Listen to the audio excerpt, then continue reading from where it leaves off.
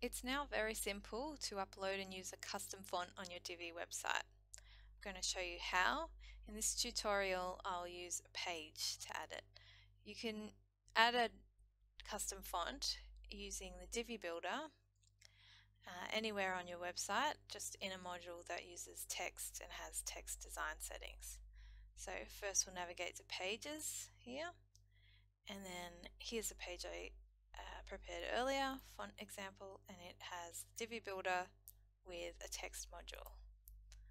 So opening up the text module, you'll see I've got a heading there already.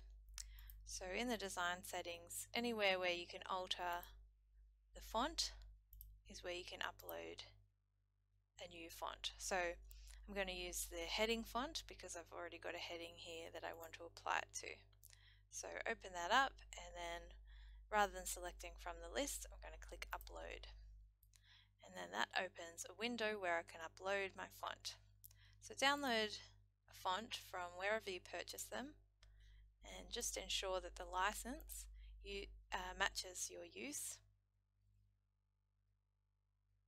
Okay, and then once downloaded, uh, you need to extract the zip, zip file. And then here you can see I've got the font files now. So I'm going to upload my TTF, so that was the true, uh, here we go, the true type font file. And that is one of the supported file formats. And then I need to give it a name. And then click upload. And that has uploaded the font.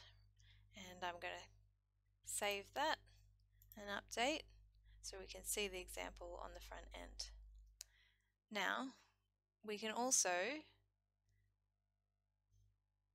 open that up.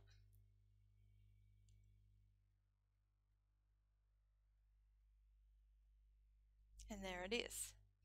Now we can also uh, select it from the theme customizer to use as a global font. So for example, under General Settings Typography, you'll now see in the font list your uploaded font, in this case Paladise Script, is there ready to use for any global fonts.